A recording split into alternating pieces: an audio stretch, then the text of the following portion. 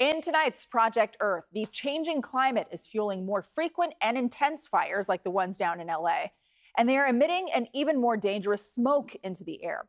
But as one East Bay boy found out, there are some steps that you can take to harness your superpower against the growing threat. Anne Makovec explains. Eight year old Nate likes a challenge and aims high. He's got big plans for the future.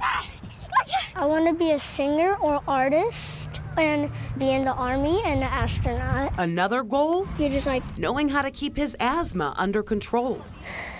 All I say is if you have asthma, try avoid pulling the trigger.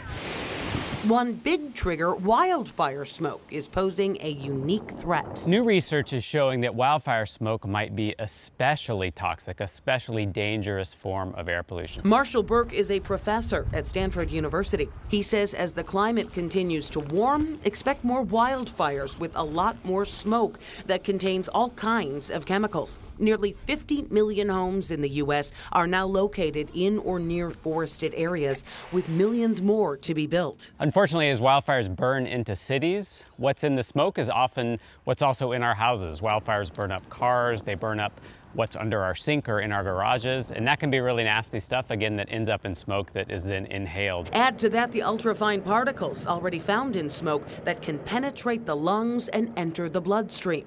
Burke's research projects that by 2050, smoke exposure alone will kill 70,000 people a year. That includes children, older adults, and those with lung disease. Already a big number, likely to get bigger under future climate change. To address the threat, Burke and his team created a free online online tool, an interactive atlas. So here we have the atlas up. Zoom in or enter your address and learn about the wildfire smoke risk in your home. Soon the site will include what you can do to reduce that risk, including portable air filters. Not everyone can afford a $200 air filters, so we need to make sure that people can access them. That's where Dr. Tanya Piperly and Vivian Chang of Breathe California step in.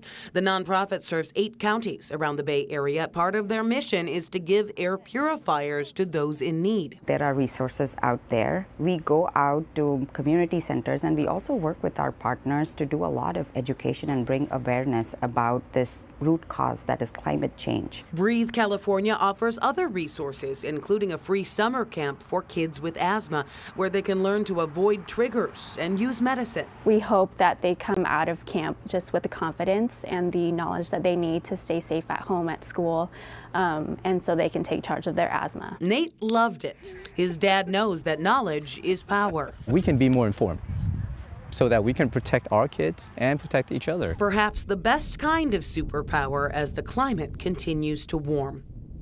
You can test out the Atlas by going to kpix.com and you can learn about Breathe California's big walkathon scheduled for this Saturday.